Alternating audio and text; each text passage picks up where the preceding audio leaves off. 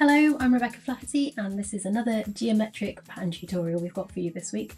We're going to be making this cool circle pattern here in Procreate.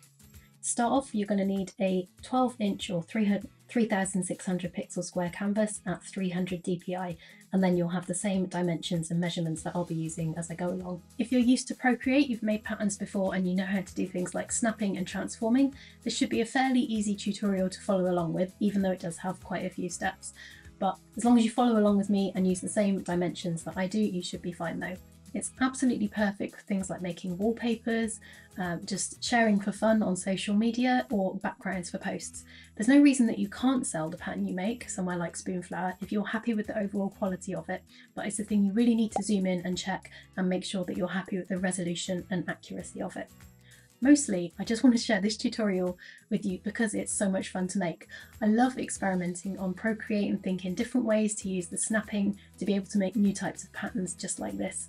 It's a really good workout for your brain. It helps you come up with more ideas and where you could use this to make patterns in Procreate, and you'll definitely pick up some concepts here which you can use in other patterns. So let's get started. We're going to start by filling this layer with a colour. I'm going to go for this nice bright orange. So we'll fill this layer I'm going to turn this layer off for now. I'm going to add a layer above and I grab pink and the hard airbrush that comes with Procreate and I just want to draw the biggest circle as I can that goes almost all the way to the edges, not quite over the edges. I'm going to start somewhere like this, hold, tap the screen and that will snap to a perfect circle for us. And I'm going to fill that circle with colour. So what we want to do now is tap to transform. I'll centre it on the canvas. I've got snapping and magnetics on. So that's centered on the canvas and I'm going to tap fit to canvas. So that's going to expand that. So that circle now is 3600 pixels wide. Anytime you make pixels bigger, you lose a tiny bit of image quality. We've only made it a tiny bit bigger, so it's not going to be a problem. And actually, we're going to be making this smaller again when we come to put the pattern together. So it's all going to work out okay in the end. So now we've got this circle, which is 3600 pixels wide. So if we zoom right up to the edge, you can see it does go all the way to the edge, but because we um, transformed it, and I said about image quality, we've got this, the very edge of this is semi-transparent. To bring that opacity back up and have it fully opaque all the way to the edges, what we want to do is to duplicate this circle several times until we knock out that transparency. And you'll see that should work in these corners as well. Doesn't matter if we've got some bits there, that's going to be fine. So then we can pinch to merge all of those together and we've got this nice fully opaque circle. So what we want to do, I want to put half of the circle over this side and half of the circle over that side.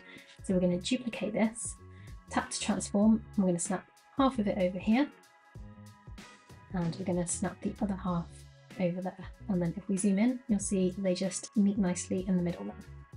Then we can pinch those two together we tap to transform, you'll see the dimensions of this are the full height and width of the canvas at 3600 pixels.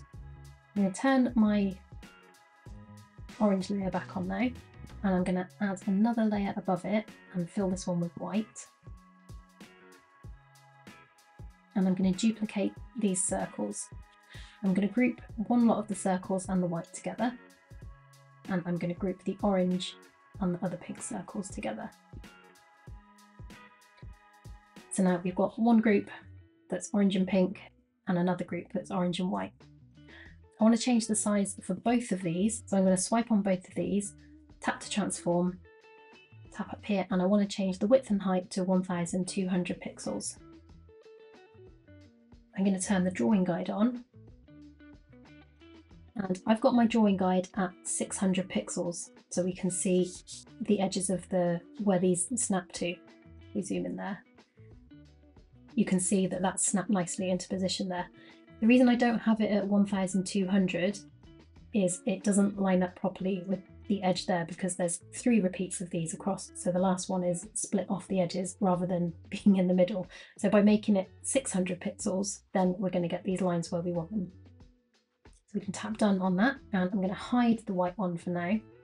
And I'm going to start down here in the bottom corner and I'm going to bring this one and snap it down there into the corner. And then we can turn that, that one on. So I'm going to make these outside corners are going to be orange background and then the other ones are going to be the white background. So to start with, I'm just going to get all of these orange ones into position and then we'll do some rotating. So I'm just duplicating the whole group. I already moved that one from there.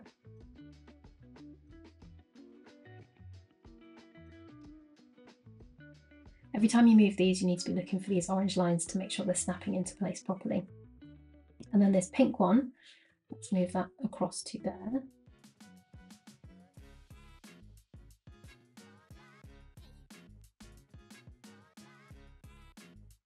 And then I've been checking out for the orange lines, but I'm also going to do that thing of zooming in here and just making sure everything looks nice and straight along these edges. So once we've got all our circles in like that, we can then rotate these around to get that funky kind of offset look. So I'm going to start with, it's difficult telling what's what now. I want to start with this one up in the corner and I'm going to rotate this one around 90 degrees zoom in there to make sure that looks okay. This one I'm going to keep up that way and this one I'm going to rotate 90 degrees. Let's find that one. That one there, so we'll tap to transform and we'll rotate this one 90 degrees. And then for the white ones, I'm going to rotate this one and this one 90 degrees. So we just need to find those two. There's one there. Take that 90. That one there rotate that 90 degrees. And that is essentially our finished pattern tile. You can turn the drawing guide off now and you can zoom in and just make sure everything's nicely lined up here. And that is our finished pattern tile. So you could export that as a pattern tile to use. Let's check it in repeat first though. Let's swipe down with three fingers to copy all. I'm also going to put all of these in one big group and hide them.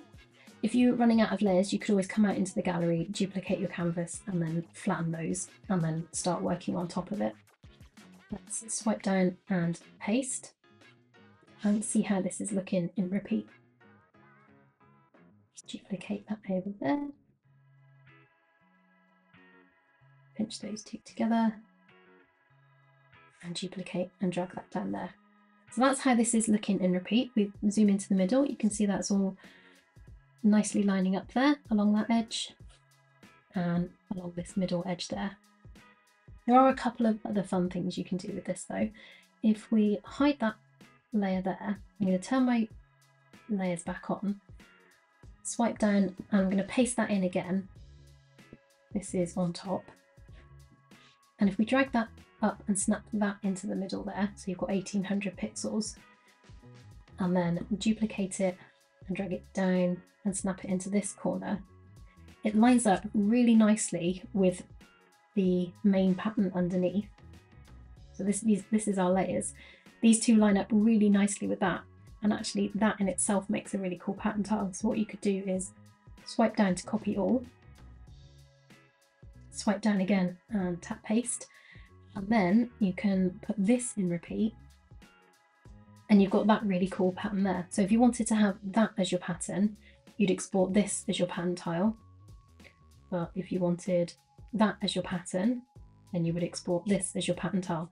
So as you can see, there's like loads of different options. You could even do something like, like mess around even further and do funky things like that if you wanted to. As I said, the options are endless with this.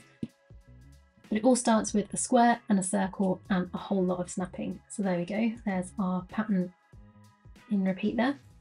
I hope you've had fun watching me make this and that you're going to have a go at it yourself. If you make this and share it on Instagram, don't forget to tag me at Bekki Flaherty so I can see it and share it in my stories. If you want more tutorials like this every week, you can follow me here on YouTube for those. If you want more in-depth courses, I've got those on Skillshare. And if you sign up with the link below, you can get 30 days for free when you join. Have fun, stay creative, and I will see you next time.